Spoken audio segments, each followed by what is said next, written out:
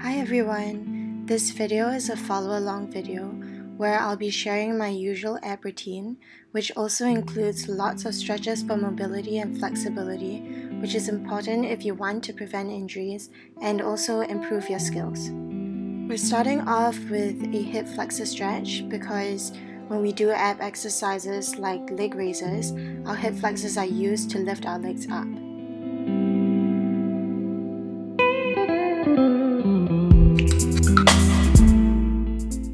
You're having trouble balancing when getting into this movement, you can always put your hands on the floor.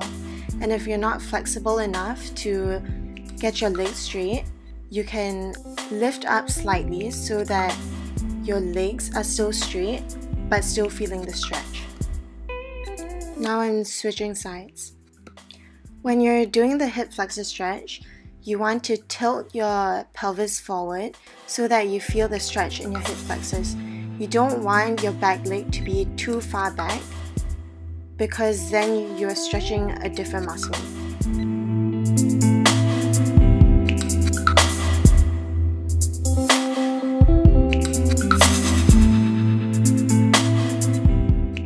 Now we're getting into a hamstring stretch and you want to keep your leg straight and flex if you need a deeper stretch. If not, then point your toes and go as far as you can if you can't reach your knees. Whenever you stretch, try to take deep breaths and just relax into the stretch.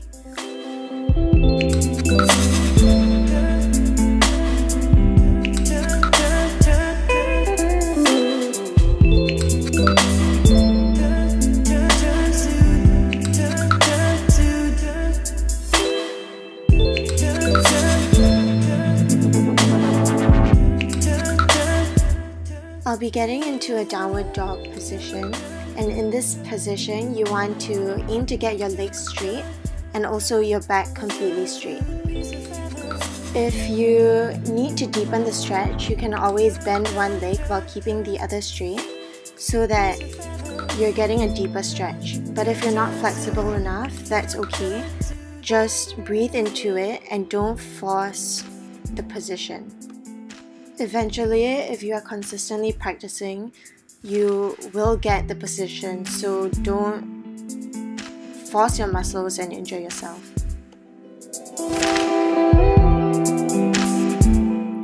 I'm just doing some wrist warm ups here by leaning into my hands, putting weight and pressure into my fingertips. We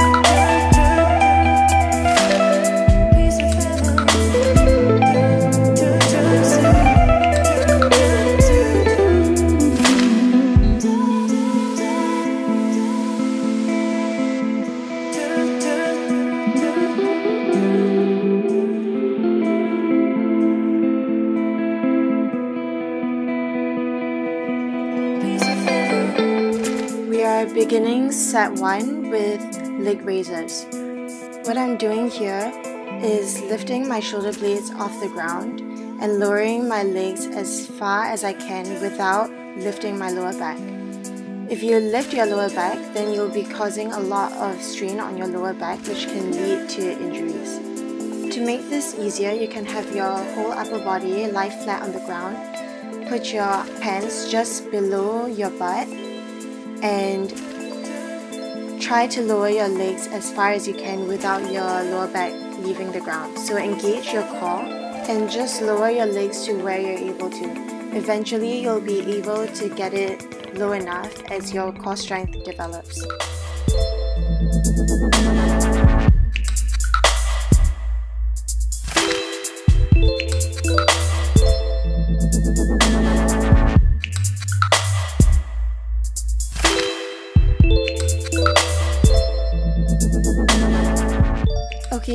Getting into alternating leg raises. So the idea is the same, just alternate your legs.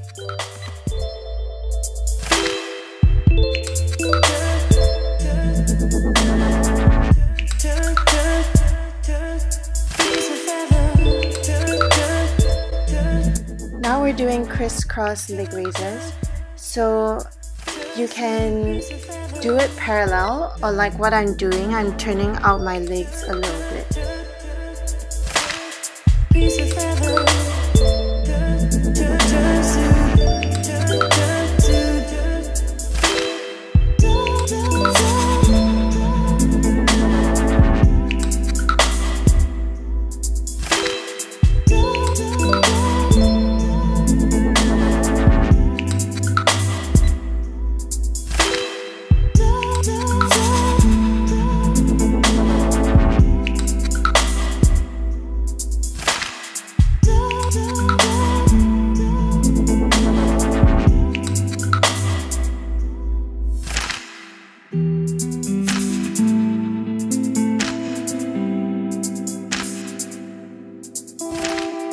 we're getting into the second set, starting off with the heel touch crunch.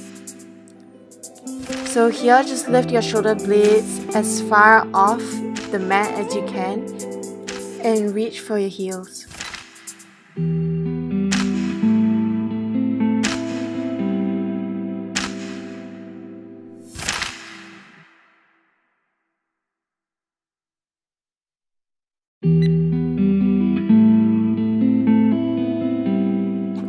We're doing alternating toe taps. So opposite arm to your opposite leg and just reach for your opposite. Well, I wasn't touching my toes, but reach for your toes.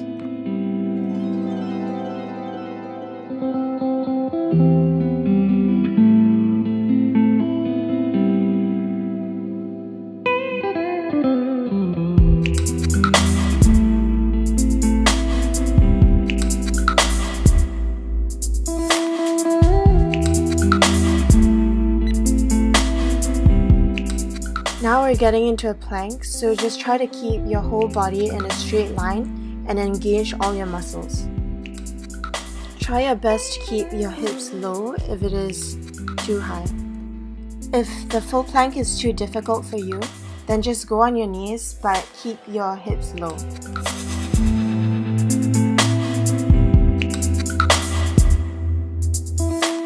We're going to do this plank with a leg raise and we'll be switching legs later on. If you're unable to do this, it's okay, just do the plank. Okay, we're switching legs now.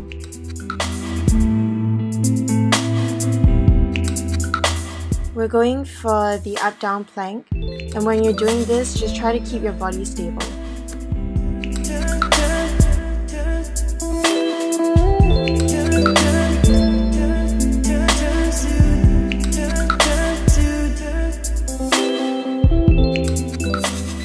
The plank position, we're just going to go straight into a push-up negative and hold the position at the end.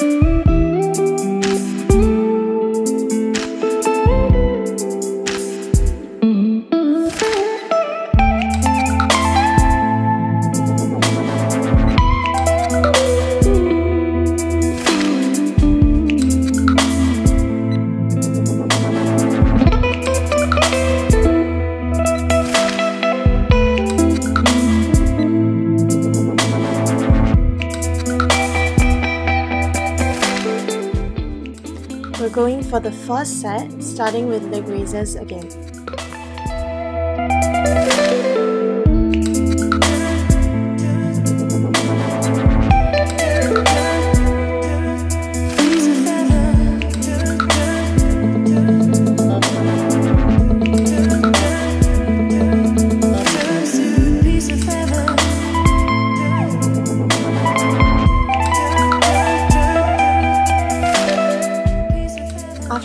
We're going straight into alternating leg raises.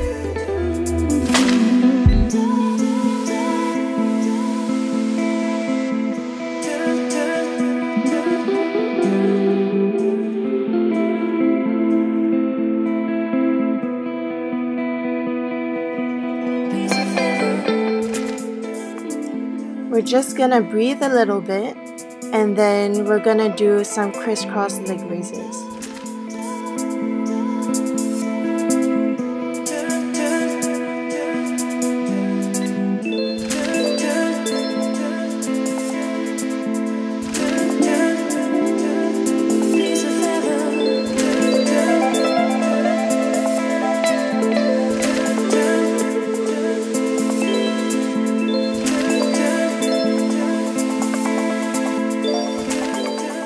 Getting into set 2, starting with the heel touch crunch.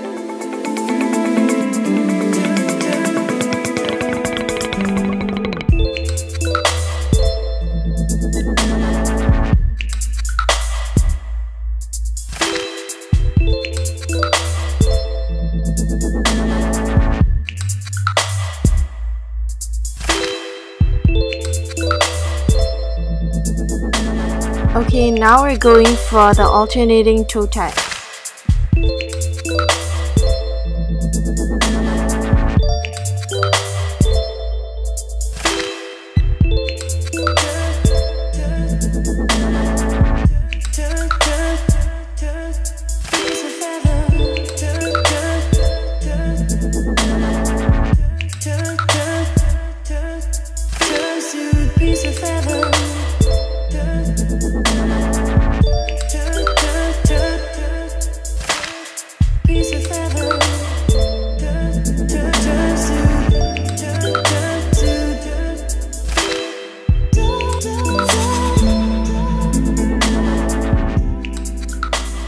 So right after we rest a little bit, we're going back into the heel touch crunch because I forgot that we already did that.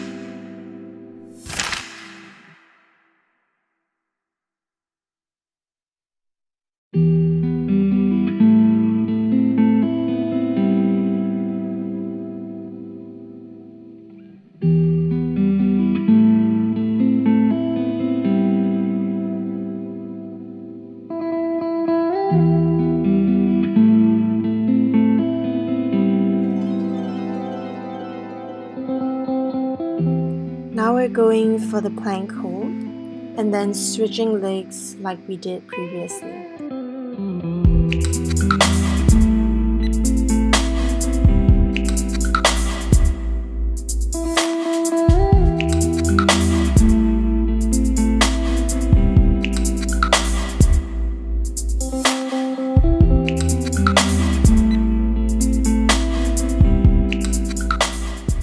Really sorry, we're gonna have to do this again. This is the last time this is happening in this video.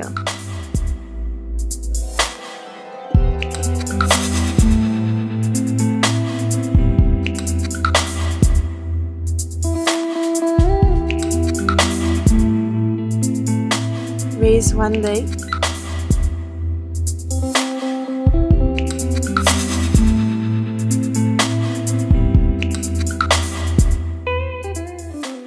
switch.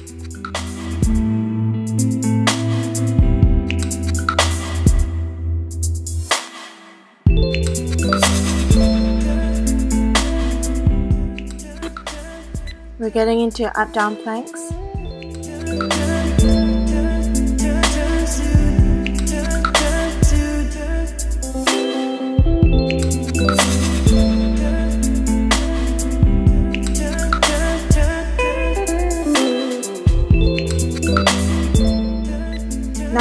Go from the plank position into a push-up negative with a hold at the end.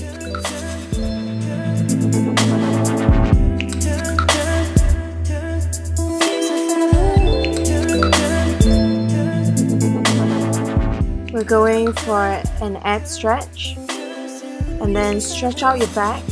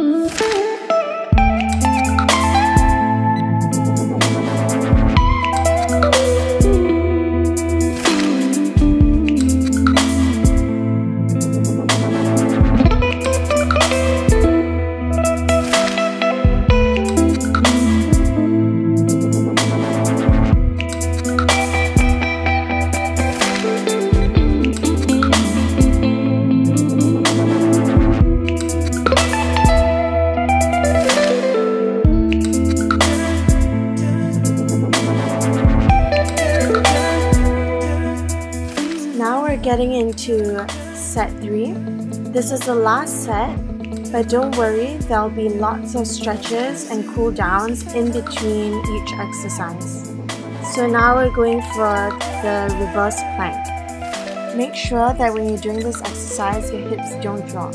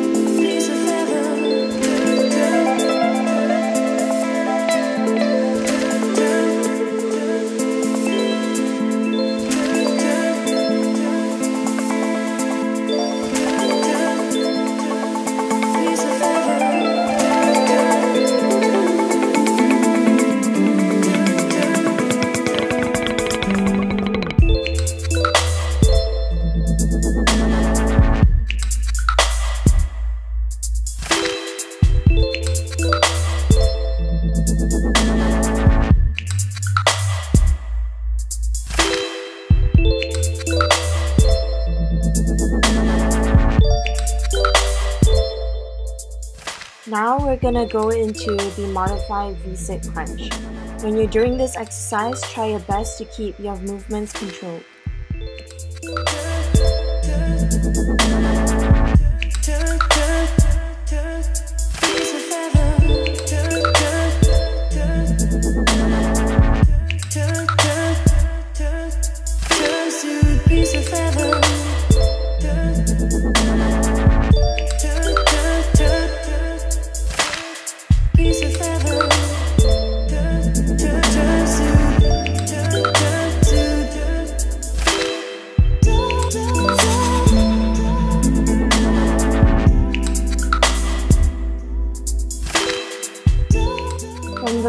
Modified V-sit crunches, we're going straight into the hollow body hold.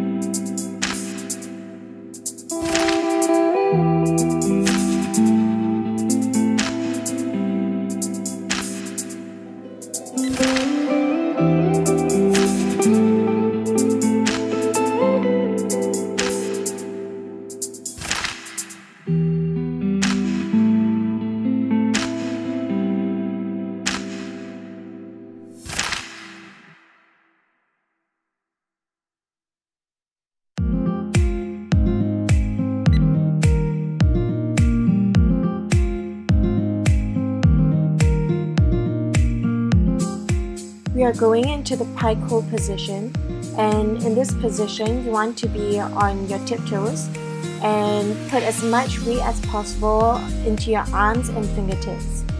Keep your body straight and your legs straight as well.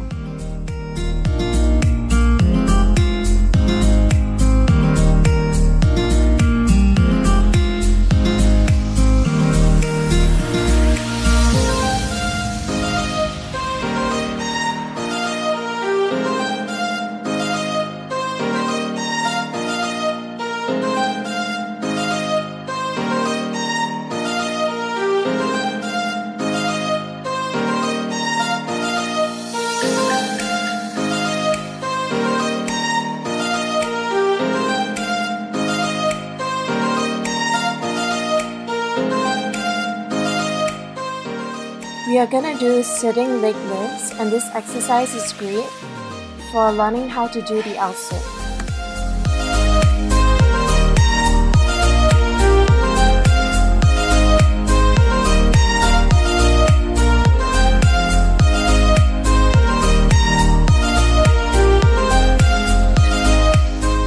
We are gonna go back into the reverse plank.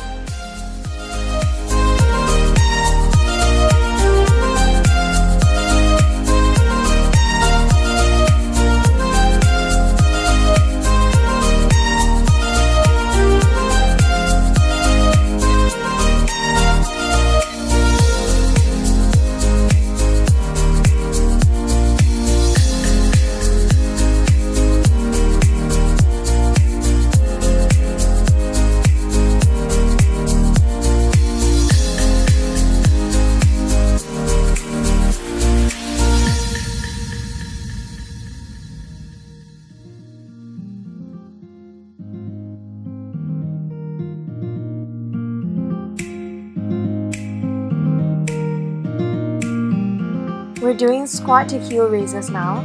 So on the way down, control your movement, and then on the way up, explode up and go on your tippy toes.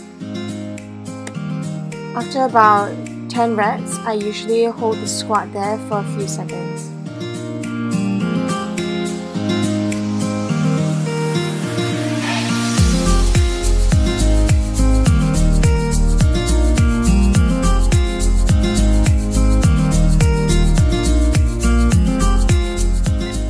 It there.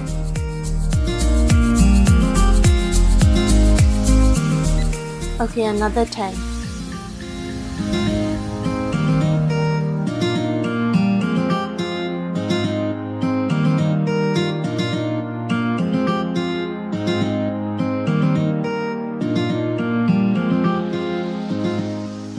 Hold it there again.